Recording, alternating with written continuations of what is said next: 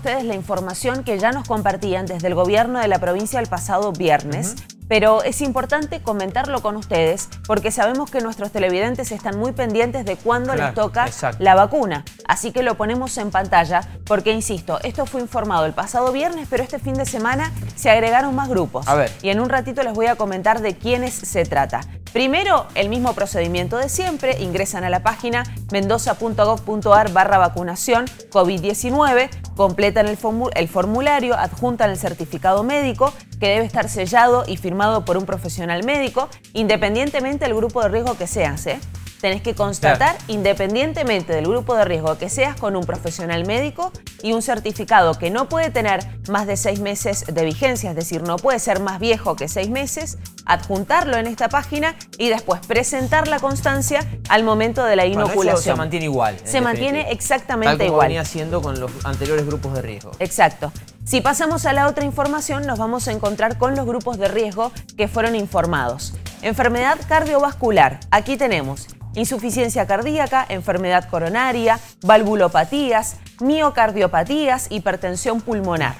Después en la página lo tienen, eh, lo tienen así detallado. Exactamente. Enfermedad renal crónica, incluidos pacientes en diálisis crónica, enfermedad respiratoria crónica, enfermedad pulmonar obstructiva crónica, EPOC, fibrosis quística, enfermedad intersticial pulmonar y asma grave. Qué difícil esa palabra, menos mal que me salió. Y además la cirrosis. Fíjense, estos son los grupos que se comunicaron el viernes. Bien. ¿Qué pasó Tienen que ser todos mayores de 40 años. Tienen que ser todos. No es, para menores de 40. Totalmente. Muy importante eso que acabas de decir, es para mayores de 40 años. Entonces, enfermedad cardiovascular, enfermedad renal crónica, enfermedad respiratoria crónica y cirrosis.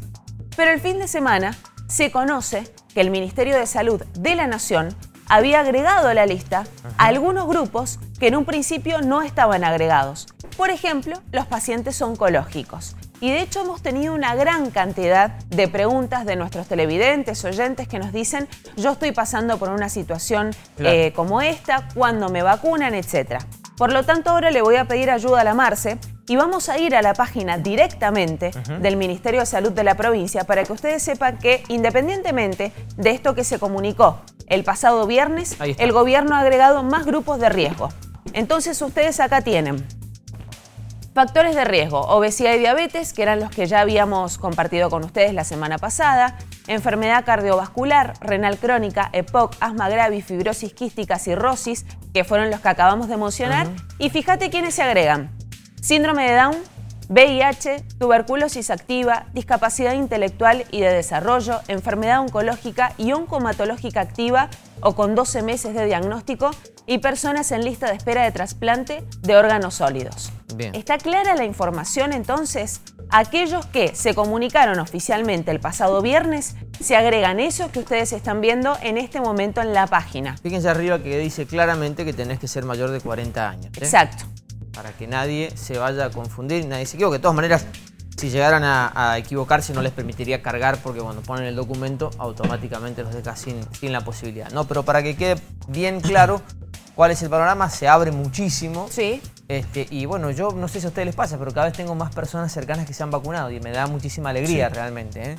Cada vez tengo más personas conocidas que se han vacunado y eso me parece este, una muy buena noticia.